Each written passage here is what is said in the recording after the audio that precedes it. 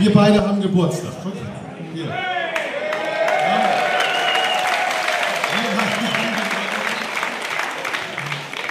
1965. In der Tat bin ich kurz vor 1965 geboren. Ja. Und ich kam auf die Welt und war sofort ein Fan der Stingrays. Das war das Schöne und ich habe, als ich ganz, ganz klein war, schon zu meiner Mama gesagt, Mama, wenn die mal 50 werden, da gehe ich hin. Und dann habe ich gedacht, was ich sagen muss ich auch halten und deswegen freue ich mich, dass ich heute hier Geburtstagsgast bin. Aber wir freuen uns natürlich genauso, dass du da bist hier. Ich darf Grüße ausrichten von Thomas Schönherr von der Oldie-Börse, der leider nicht kommen kann, weil er ein bisschen krank ist. Lässt herzliche Grüße ausrichten.